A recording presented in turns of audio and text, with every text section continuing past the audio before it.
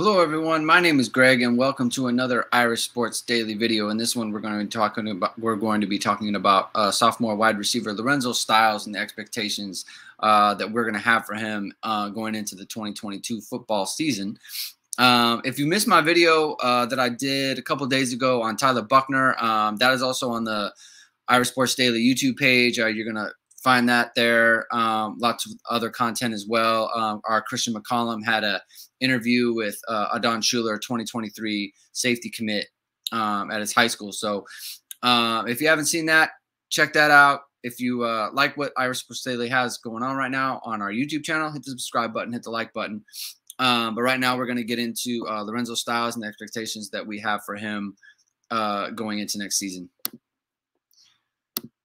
All right, so let's look back on uh, Lorenzo Styles as a freshman, right? So, um, pretty famously, Notre Dame is not uh, doesn't get a ton of huge contributions from freshman wide receivers, um, especially in terms of snaps and overall numbers, right? So, I think uh, Notre Dame has shown that they will play freshman wide receivers, but it's not they're not going to get the type of production that Lorenzo Styles had last year um, with 249 snaps on offense, uh, 32 targets, 24 catches, 344 yards, one touchdown. Um, had another touchdown on a reverse call back. Um, a, a, another freshman, Deion Colzie, got called for holding, kind of bogus, uh, bogus uh, penalty, but it, it, it is what it is. So he, he got that touchdown taken away. But um, as you can see, these are pretty good numbers for uh, Lorenzo Styles last year, right? And this was a year where um, yeah, there were injuries, right? And I think a lot of, um, you know, kind of his production, you know, it ticked up once uh, Joe Wilkins uh, found himself injured and um, and he went out. I think it was against Cincinnati that it was. Um, in compares to, I, I think Lorenzo Styles, his his freshman season most compares uh, closest to uh, Kevin Stepherson at Notre Dame, where Kevin Stepherson in 2016 as a true freshman. Um, he was he was on the field, I think, a little bit over 300 snaps. Let me just check it out. 359 snaps uh, for Kevin Stepherson, uh, 215 in the passing game. The majority of those, um, and I will say, so so Kevin Stepherson had 25 catches, uh, one more than Lorenzo Styles for 462 yards. So obviously a greater higher. Um, a higher average per reception five touchdowns versus one for Lorenzo Styles. Um, one one of the main distinctions though between the two of them is, as you can see, Lorenzo Styles had 109. Uh, it was uh, passing passing snaps from out of the slot, 53 out wide. So primarily a slot player, but he was used utilized outside um, as an outside player. And Kevin Stepherson was mostly an outside player. He had 197 snaps on the outside, and um, I think it was just seven or so, 17, I'm sorry, from the slot. So um, that's kind of the distinction between the two of them there. Um, some of the other freshmen who who ended, ended up having like really good sophomore seasons, we'll get into that in the next slide here, um, was was one of them was Golden Tate for one. So he pretty, I mean, eh, as a, as a part of Notre Dame lore, right? Like came in, Golden Tate didn't really know how to run routes very well. It wasn't very adept at the route tree or anything like that. Um, and he didn't, you know, he, he didn't get a ton of work, right? He, it was literally just throw, run straight and throw it up in the air and he's going to make a play on it. Um, and so that he, you know, he had a slow uh, freshman season. Uh, I think it was Will Fuller who, who, similar. He had six catches as a freshman, and then um, who, who else am I thinking of here? Will Fuller. Oh, uh, Equanimeous St. Brown was I think he made one or two catches as a as a as a freshman receiver. Obviously, he was sitting behind Will Fuller, and as we can go back and just take a look at what some of those guys did their their second seasons, um, this is something that I think we could look forward to with Lorenzo Styles, right? So Will Fuller in 2014, his sophomore year, 76 catches, 1,076 yards, and 15 touchdowns. Equanimeous St. Brown in 2016, 58 catches, 961 yards, and nine touchdowns. Obviously, Golden Tate, 58 catches, 1,080 yards, and 10 touchdowns, right? And I think that, in my opinion, you know, numbers are hard to hard to kind of predict, right? Because we don't know, you know, what the offense is going to look like. Like if if you watch the Tyler Buchner, if you watch the Tyler Buchner um, uh, preview and kind of the expectations that I have for him, I think Tyler Buchner is going to be slinging the ball all over the place. I think the Notre Dame offense is going to be pretty wide open um, health permitting at the wide receiver position. And obviously, Lorenzo Styles is, is a big part of that. But if they're throwing the ball as much as I think they are, I think that anywhere, you know, I, the, the, Will Fuller season of 76, uh, you know, 1,076 and, and 15 touchdowns. I mean, that's, that's very much the upper end, right? I, I, I don't see um, any receiver having the volume, right? Just because – you know, eh, remember in 2014, Notre Dame didn't have a, a Michael Mayer type um, at, at tight end, right? So they weren't there. There were there were a lot of catches going to um, you know Will Fuller that, that just aren't going to be available for a wide receiver on this year's team because of Michael Mayer, right? Um, and I and I think you know the 2014 team also didn't utilize the backs in the passing game like the like the 2022 team will. So um, those numbers are are a little out there for me, but I think you know EQ and and Golden Tate with their 58 for you know approaching a thousand yards receiving, 10 touchdowns. I, I think that's very much in play. I, I, you know, Lorenzo Styles, because of his um, versatility that we'll get into, they can use him out of the slot and they can use him out wide, not just out wide, but they can use him to the boundary. They can use him to the field. Um, you, you, know, tons of look passes or quick screens um, that they, you know, they were utilizing a lot last year. Um, I think they'll use it a lot more this year.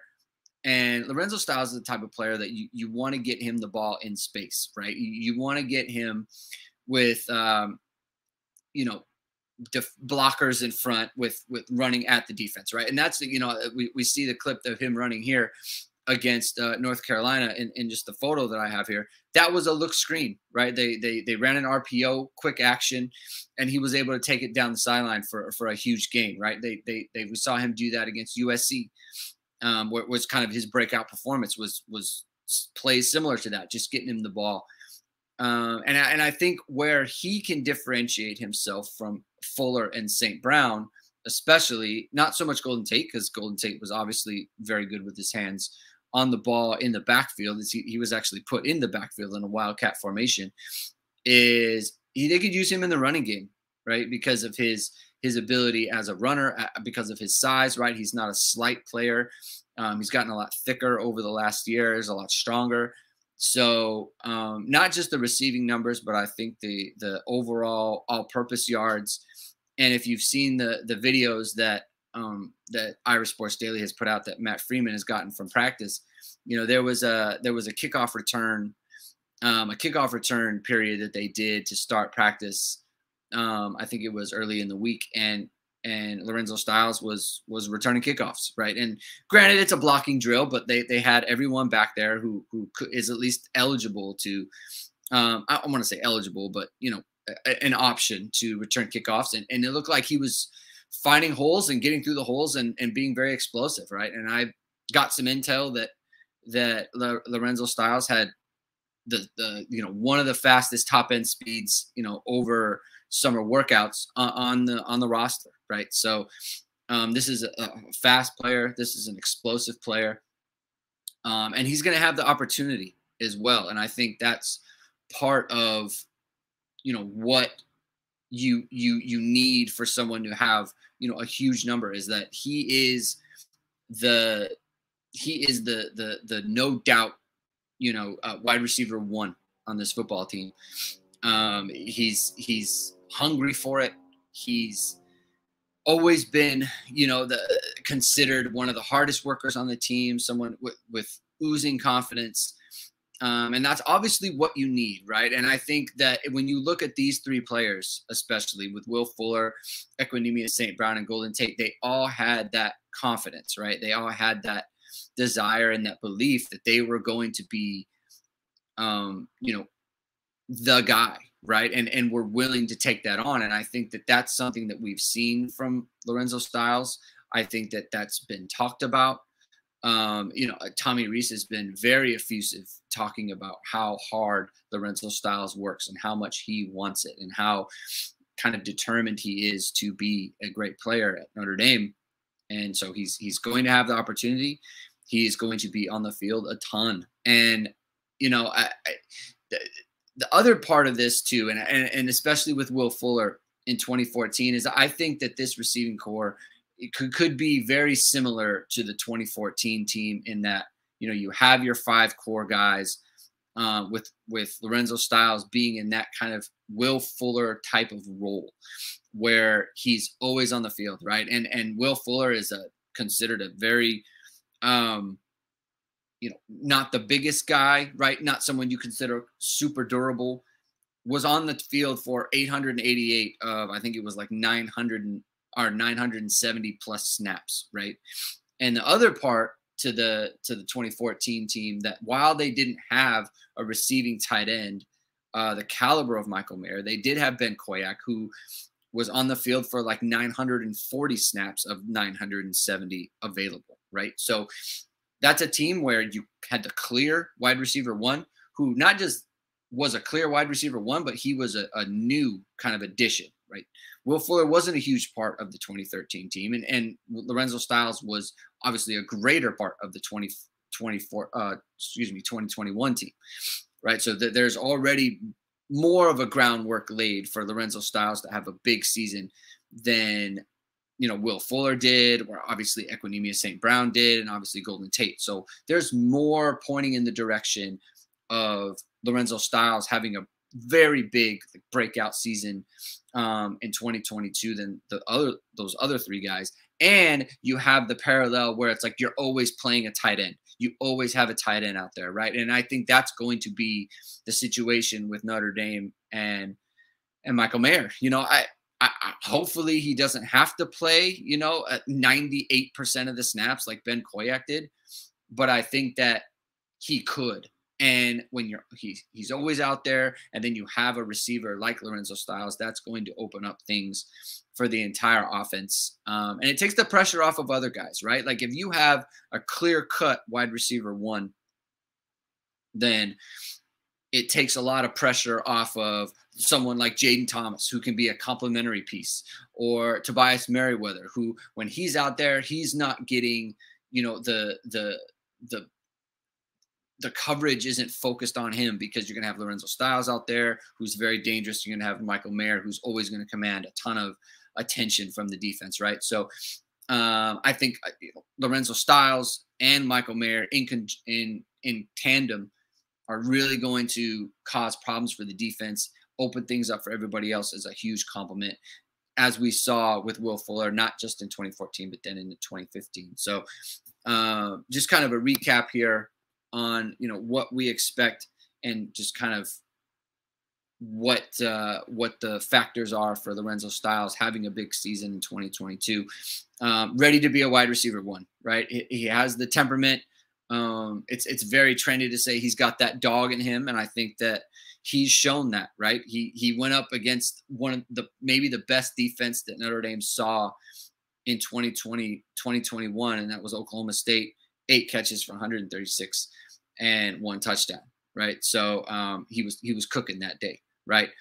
He has the speed, he has the size, right? Not a small guy, six one, um, you know, not slight, thick, strong legs, strong upper body, like getting a lot stronger, strong with the ball, um, and the toughness, right? He he is not not just physically but mentally as well. He's a very tough football player, and that lends itself to being a wide receiver one um, has the desire to be great.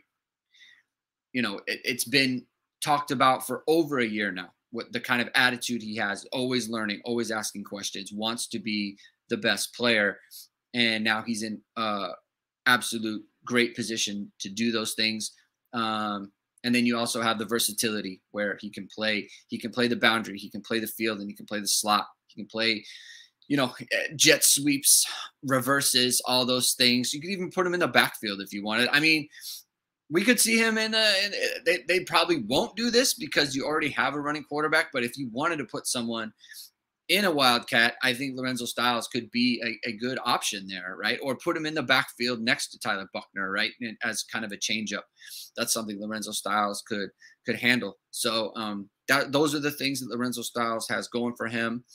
Um, and so just to kind of recap, I, I just think you know eh, the combination of things, right? The, the opportunity that Lorenzo Styles has, the the the type of player that he is, the skill set that he has and the the depth chart and you know his his his intangibles and all those other things point to him having not just a good season, right? I'm not talking about like a 50 catch season. I'm talking about upper 50s, low mid 60 catch year, approaching a thousand yards and hopefully double digit touchdowns. I think that's what's in him. I think that's what his expectations would be.